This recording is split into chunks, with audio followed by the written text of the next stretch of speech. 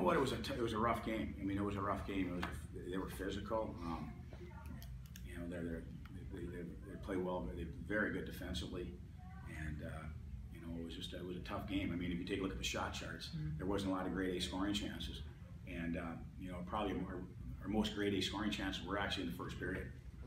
I thought it was a pretty good game. Uh, obviously, Nate had a good chance there off the bat and uh, got disallowed there, so we kind of fell asleep for a couple minutes after that. They got their goal, and uh, we were able to get two back, which was big for us going into the second period. Um, thought we had some good chances in the second period too. Their goalie played really well, and um, third period was kind of just a defensive game back and forth. But overall, it was a good game for us. Yeah, we just got to keep working. That's the biggest thing. We just try and stay up on the bench. I mean. Um, goals are going to happen either way. Obviously, we'd like to get the first goal every game, but it's not going to happen. So just keep pushing, and, and fortunately, we were able to get uh, two goals back there. This is what it's going to be like night in and night out. I mean, you're either up a goal, down a goal, or tie going in the third period. So, um, you know, a little bit of nail biter hockey at the end right there. But again, it's uh, that's the way it's going to be night in and night out. Uh, well, in Marquette, it's a little bit different because obviously there's Olympic ice, so there's a lot more time. Uh, once we get on the small sheet, it's a little less time and space. But uh, Northern Michigan is a defensive team. Um, you're not going to get a lot from them,